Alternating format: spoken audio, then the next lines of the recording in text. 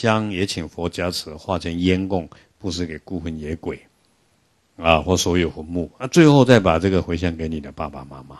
那你在坟墓去做也可以，你在家里做也可以啊。什么是回向？我搞很我搞很久才搞不懂，都什么回回向的？意思是说，我今天布施一百块美金去帮助穷人，但是是我不要贪这个功德，OK，我把这个功德要慈悲回向给所有没有福报的众生。那你看，所有没福报的众生几百亿呀、对对，很多。那你这个功德就几百亿乘以一百美金了，所以回那这样也是一个贪这个心啊！这个我想要存好几百亿，我才这样说啊。因为你我在讲的是无法避免的果报，因为我自己不贪这个功德，我把功德回向给众生，反而功德不得不跟你，而且功德变成百千万亿倍。所以《地藏经》告诉我们，你念完《地藏经》，不要光回向给你的祖先。嗯你既然知道你的祖先在受苦，假设你这样认为，那你诵《地藏经》更要回向给所有往生的人。那福报有这么够分吗？够，因为这个回向跟跟比如说我一杯水给你一个人不一样，因为这个回向佛一加持，有一千个众生就变成一千份，有一亿个众生就变成一亿哦，所以这是没有不用分不完的问题。分不完的。就是说一滴水滴到大海，整个大海永远有这滴水。那如果你不回向，这滴水放在石头一下就蒸发掉了。哎呦，这个这个比喻比喻的好。对，那你回向以后，不但舍弃执着，你还得到更大的福报。就像你布施一百块，舍一得万，因为你布施嘛。是是是，那你为什么布施？我根本不是为了得万而去布施的。啊，是。但是因为你当下的那个布施心，所以你就发财了。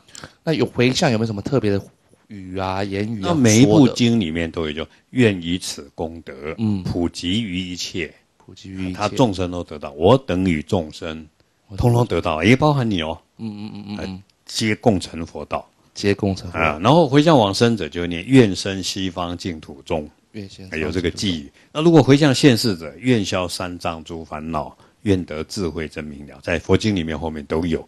那如果你不会念，啊忘了，这个会没忘记啊关系啊。哦，我这个功德布施给所有众生，这样也 OK。这样也 OK。然后，那你你可以你可以念一万个回向，比如说布施给所有众生，布施给所有生病的老人，布施给现在的那些小鸟，布施我家里的爸爸妈妈，你都一直念可以。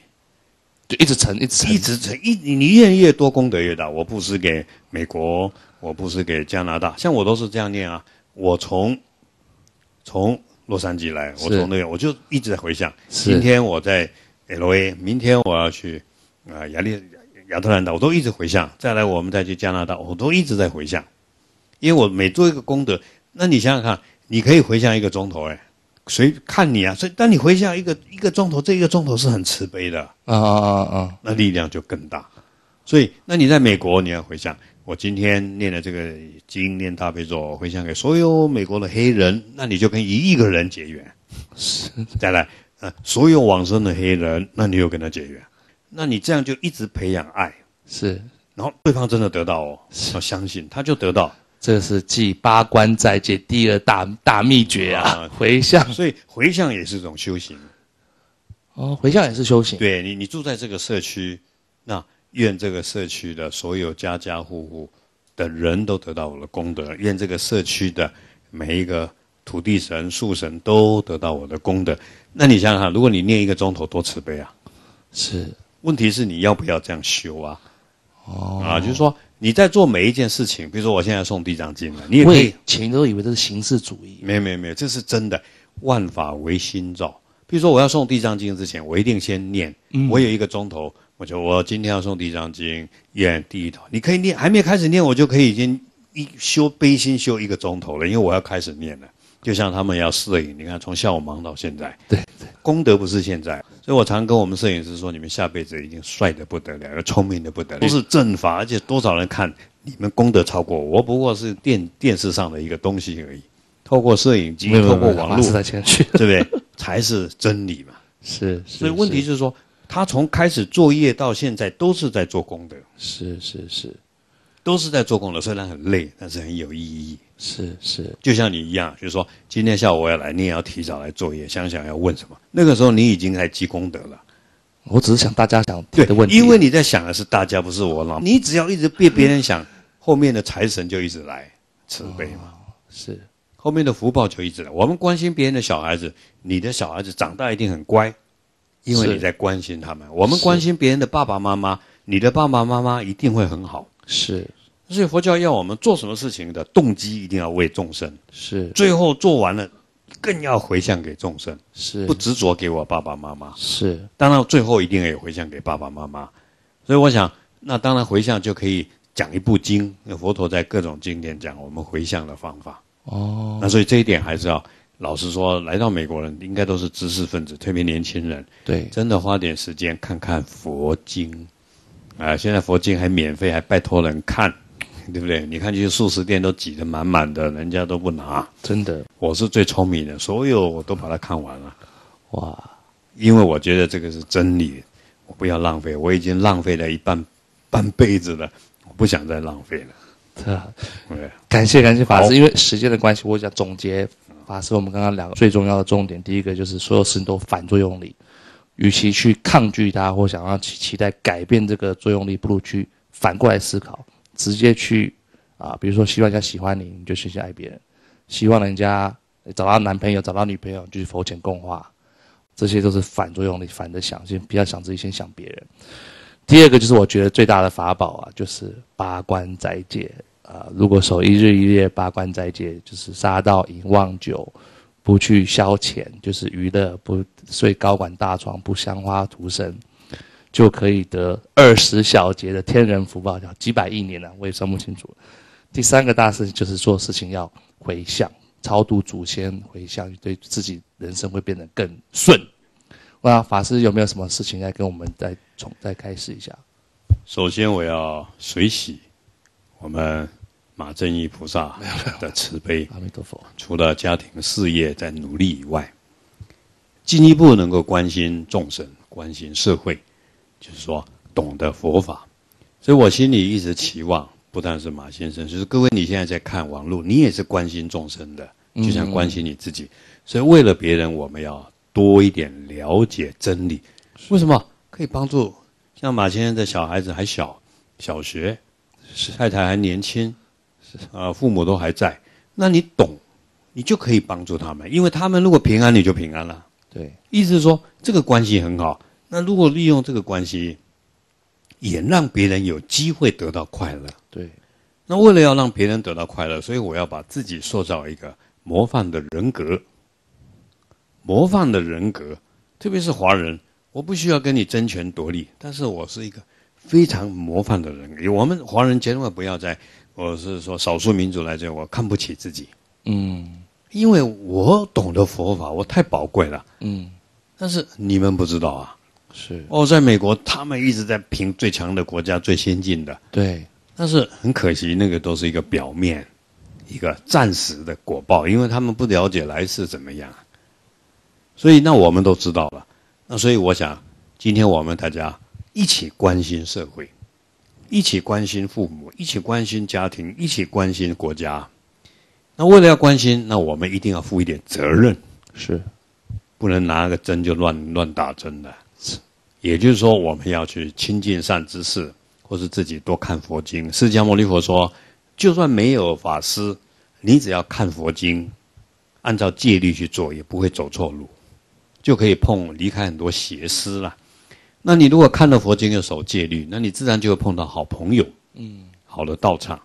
所以，当然透过电视网络也可以成为一个好的道场。嗯所以我们在这边希望，我一直跟马先生说，我一年才来一次旧金山，搞不好不见得每年来。但是像您在这边，那你就要负起一个责任。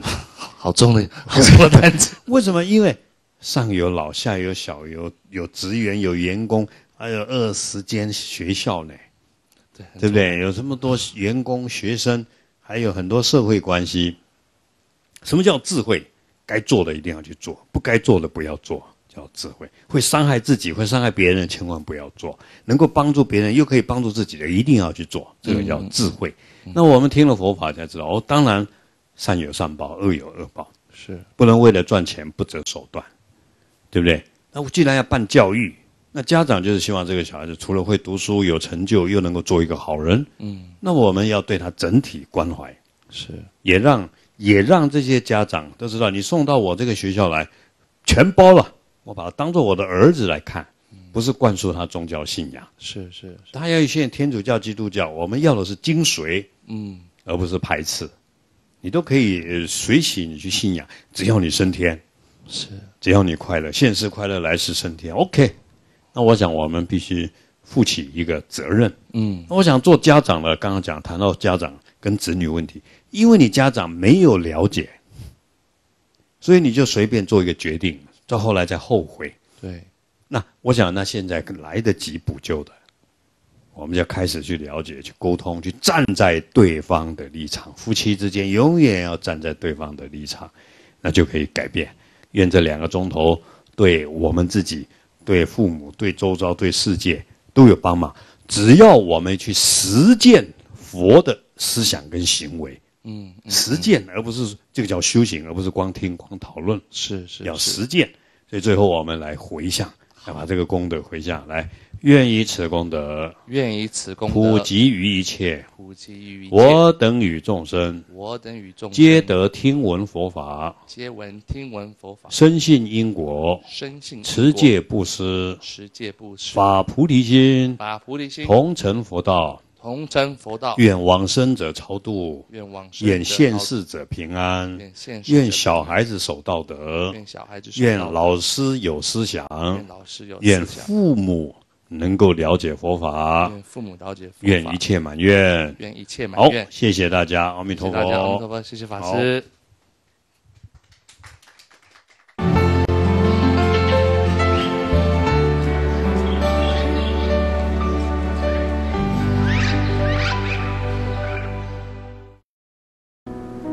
生命的力量来自于爱，慈悲的奉献就近帮助众生离苦得乐。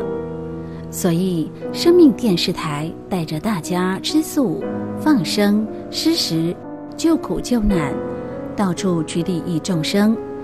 愿大家多护持生命电视台，让佛陀的智慧，让佛陀的大悲心充满这个世间。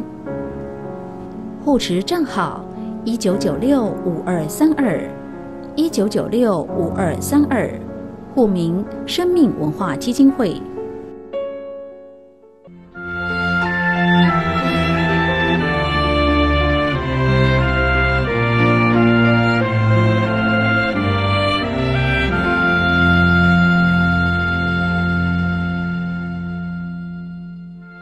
常与人与物留余地，积善人家必有余庆。曾经三餐温饱依赖我，营养需靠我，你我皆爱惜生命。今日欲要杀我养己，于心何忍？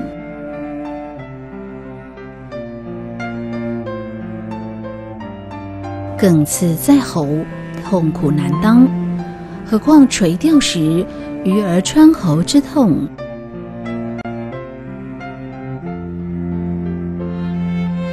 慈悲与智慧，应从小小动作开始。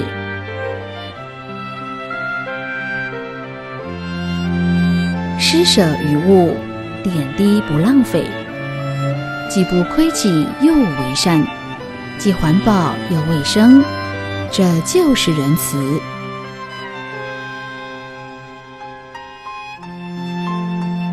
世上刀兵大劫，皆由人心好杀至。若人人戒杀放生，则因慈悲物悯之心，刀兵土割劫自然消灭于无形。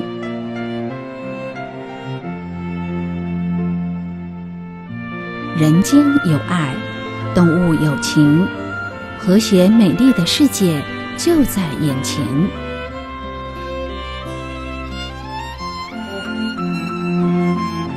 爱护众生如爱护自己，这就是慈悲。